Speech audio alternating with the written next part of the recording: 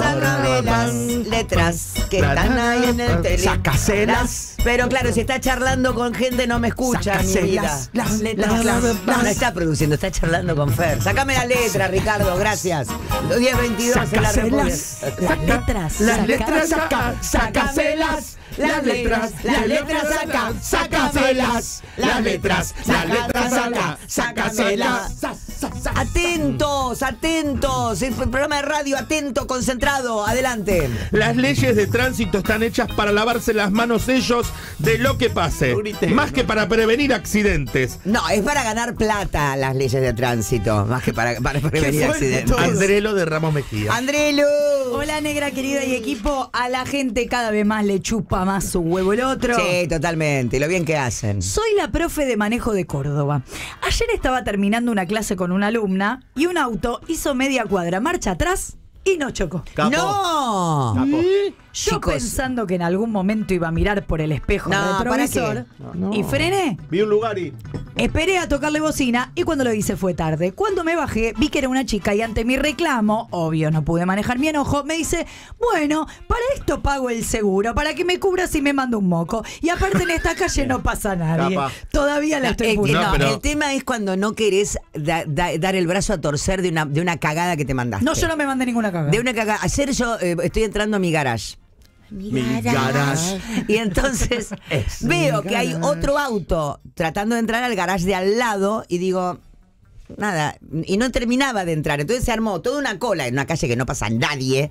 Una cola de, de autos que empezaban a tocar bocina porque esta pelotuda no hacía nada. No, era una mina que se había metido contramano porque tiene el departamento al toque. Entonces, Mirá vos. lo hacemos muchos a veces. Sí, sí. Nada de bep, bep, y nada En de mi si calle no hay lo nadie, yo. 20 si no hay nadie, eh, me meto. Y voy en baliza. Voy en baliza. Pero fíjate, primero te dejamos si te conocemos. O sea, es una. Tenés que entrar al club. que entrar al club de, eh, de- de dejamos si te conocemos. Pero yo, si quieren hacer plata, en serio, vayan por Palermo, es todo doble fila.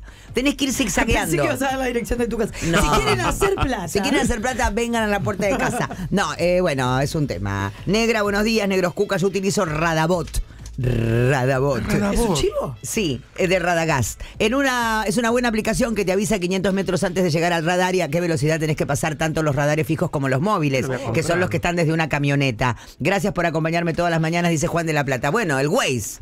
El. Waze te avisa todo eso Todo. y mucho más. Yo, eh, para mí es mi mejor acompañante. El copiloto de tu vida. Ese copiloto, ¿cómo? Ese copiloto de mi vida. Y le peleo.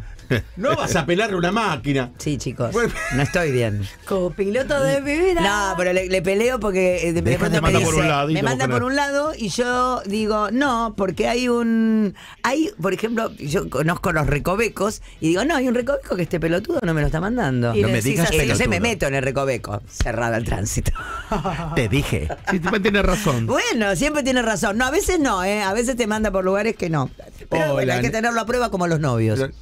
No es tu novio el Waze. Ni No te tengas casar los con el. Waze. Las dos cosas voy a hacer toda la vida. Hola negrita, soy Mariana de Morón. Me pasó hace unos días que cuando llevé a los chicos al cole los suelo dejar en una dársena donde podés poner las balizas. Bajan los chicos y seguís camino.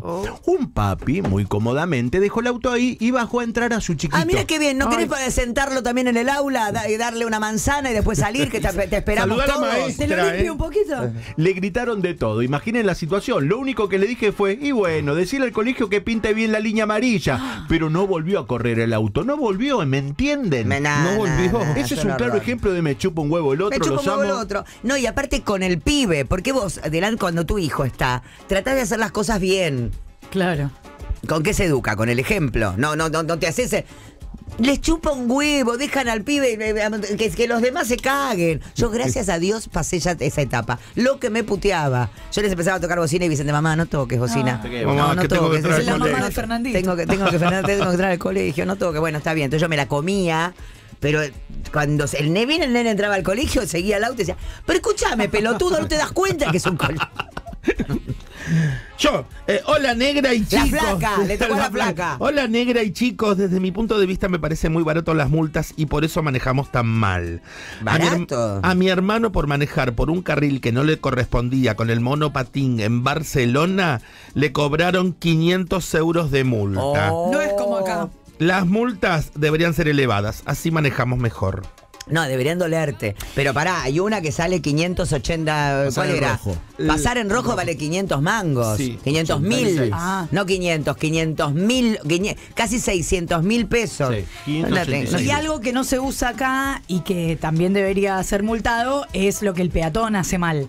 Porque Totalmente. hay el peatón donde- debería. El peatón está no, empoderado. exceso de velocidad, más de 140. Ah. Tenés que informar, esto es una radio. Vos no podés decir cualquier Decime pelotudez. cuánto está el, el rojo, por favor. El rojo, Barbazar en rojo, me parece que estaba 200. No, sí, 219 mil. ¿La mitad? Dale, Juan Sí, José, aclaración. y velocidad, dale. claro, aclarás como el ojete. Claro, no te acordabas. Y, y, Damián, exceso de velocidad, más de 140, 586 mil 640. No hice el Métetelo, curso, no métetelo en la cabeza, Roberto. Irresponsable. Puto. Chicos, por favor. Negrita, ¿Qué? soy Cintia de Saavedra. Ayer nos llegaron tres multas y pone con muchísimas comillas por exceso de velocidad. Me jodés. Pero mira cómo se calienta por esto.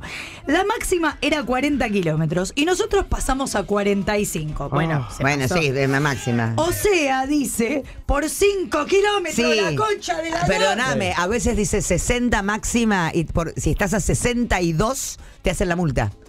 Pero debería ser, en realidad, en una época era.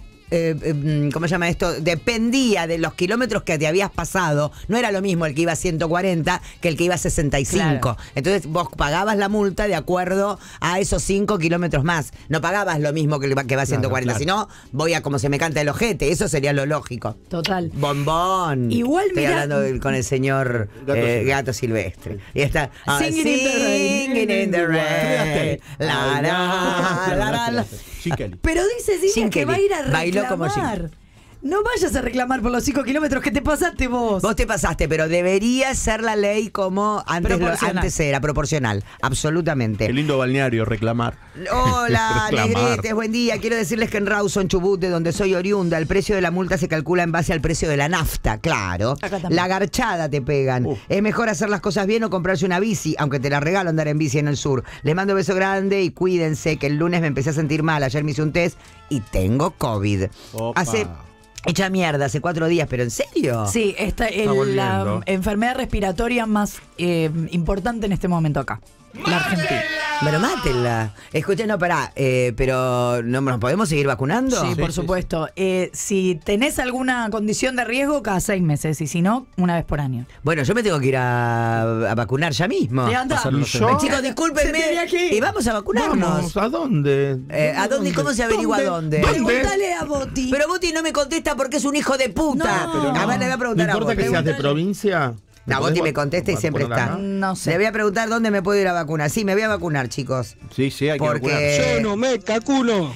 Yo no me cacuno. Ay, por favor, ese ser. no Mientras buscaste olvides. un mensaje. Sí, para que no termine. Besos desde Córdoba. Con ustedes eh, la vida es más fácil.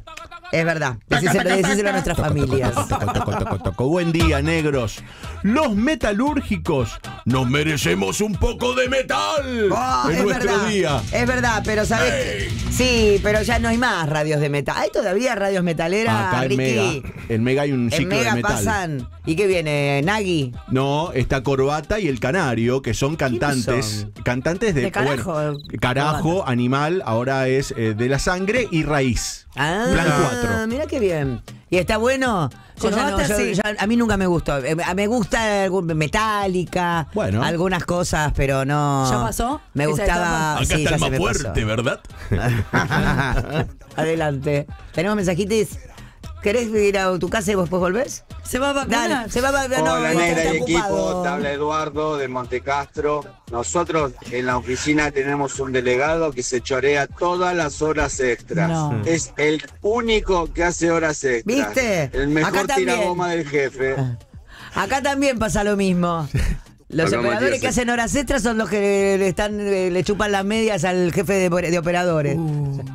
Acá Matías aclarando. El antirradar, eh, sí, es esa cosa que dijo Carlos, pero eh, acá en Argentina se prohibió usar radar con Doppler, que es lo que detecta eso, a partir del 2005, así que no existe más. Lo otro que hay negra es un protector de patente que vos le pones y cuando cualquier cámara te quiere sacar una foto, no se ve. Y ¿Me estás nada, eso. Acá los radares son con espira. ¿Y cómo Cuando lo- ustedes vienen andando por la calle y ven eh, que los cuatro corten la cosa o frenen.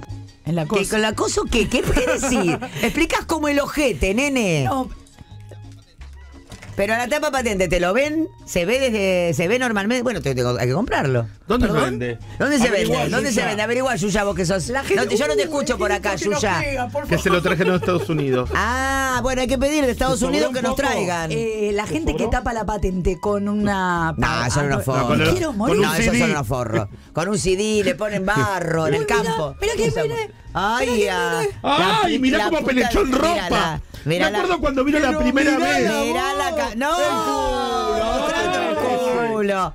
Estamos hablando de Camila Porque Sosa no Villada que se hizo presente. En culo. En En ojete. culo. Qué linda que está, ¿eh? En culo. ¿Te acordás la ¿Cómo- primera vez cómo- que ¿Te vino? acuerdas que era una roñosa? Venía con un olor chivo, tenía, y tenía una remera ¿Cómo amarilla, un jean roto. ¿Cómo estás? Estoy de acuerdo con todo lo que decís. Las bicisendas están hechas para el orto. Porque la bicisenda tiene que ir en el mismo sentido que va el auto. Total. Vos te estás fijando que no venga la bicicleta de la izquierda, más en la mano que es de la izquierda, y te viene una bici pegada, te vuela el tipo por la derecha. Es un quilombo. Es- Y aparte, muchos ponen los conitos, la cajita de, de la fruta, el cajón. No hay lugar para estacionar. Dicen no estacionar en cordón de amarillo. Ahora el cordón de amarillo es media cuadra. Media cuadra te menos. ponen. Más los que se lo pintan.